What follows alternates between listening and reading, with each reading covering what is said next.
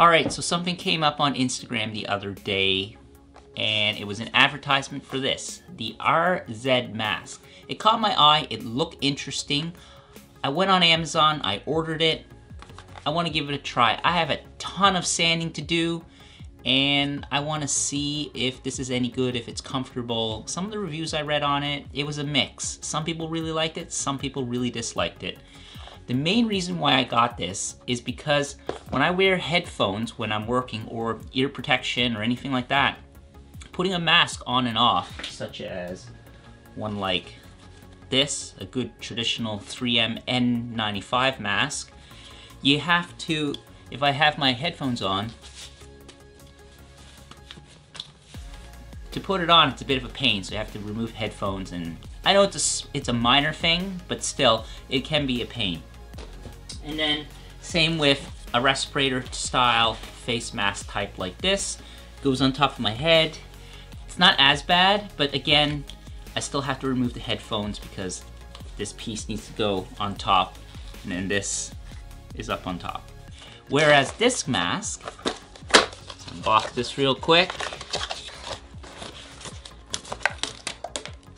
Comes with this card, an extension strap, user manual, a holding pouch for a little clip, and then the mask itself.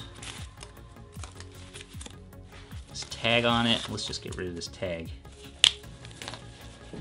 Two of these particulate filters that you change out on the inside of the mask.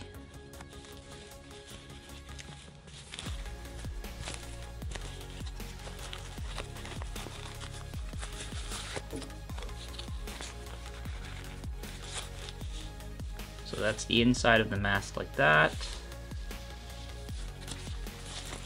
It's the front. It's got these vents that vent downward, which hopefully won't fog up safety glasses.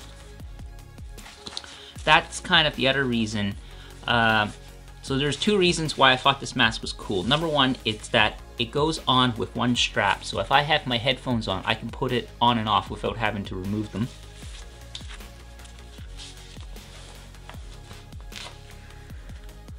That. And also, it vents downwards so that way it shouldn't fog up my safety glasses. Okay, let's give this a try and I'll give you my impressions. It's made out of neoprene. It's just kind of cheap for what you're paying for. It's pretty expensive, but eh, I guess some R&D had to go into it. I guess I should remove this Velcro thing. All right,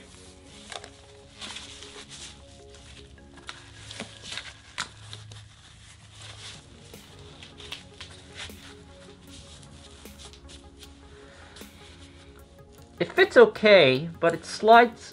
Ah, it fits okay, but it slides off my nose here with this piece. So we'll see, we'll see what this is like. Okay, I'm gonna do some sanding, use this for the day, and then come back and give you my impressions.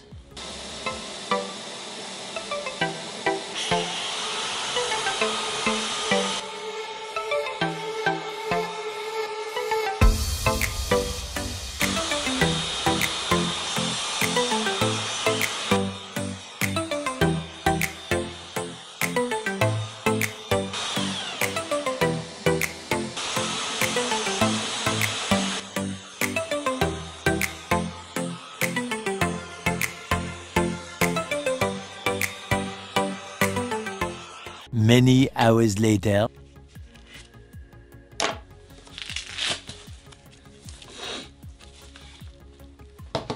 All right, so I've used this for several hours now. And what I've noticed with this is this, this uh, flexible metal clasp up here for your nose that you tighten down so that way it keeps it from sliding off. Um, it puts a bit of pressure on the ridge of your nose. For me, it's not terrible, but I've read some online reviews and people have complained about that. It doesn't bother me enough that I wouldn't use this mask. Now, the inside still looks pretty clean. Now, I'm not welding or anything with this, so I don't have a lot of dirty fumes. But uh, in terms of dust, I've been doing a ton of sanding. No, no dust inside, so that's great. I do like that these vents here, when you breathe out, vent downward, as I said earlier, did not fog up my glasses. So that worked really well. The filters themselves, um, these just came with, I think, the F1 filters. And then there's F2 and F3. So they have a high flow and then they have like a premium filter that's supposed to capture, I don't know, high intensity fume odors present. Anyways, this just comes with the standard filters. So, would I use it? Yeah, I think I would. I do like it enough. I've been using it all day. I think it did a good job. Um, it fit well all the way around my face, and of course everyone's face is different, so your mileage may vary. I like that it's compact and flat when it sits up against your face, just like a regular mask like this. I think that this will just work a little bit better than this. I find that a mask like this really fogs up my glasses, so I tend not to wear these as much and have to wear one like this, which is a bit more of a pain. It's a bit bulkier, especially if I do any amount of welding. When I have this on, it gets in the way. It fogs up my visor when I'm breathing out. Um, so under a welding mask, this is a bit bulky.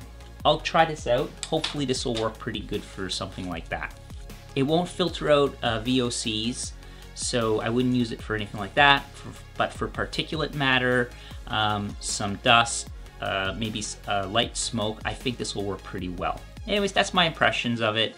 I got this on Amazon, and I think I paid about 40 Canadian dollars for it. The mask conforms to N99 filter standards, so the disadvantages really are just that it the fit, depending on the shape of your face, it will put pressure on your nose ridge on this top part.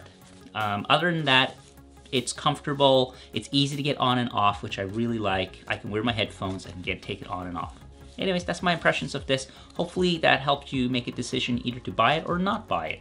So thanks for watching, uh, and I'll see you guys in the next video.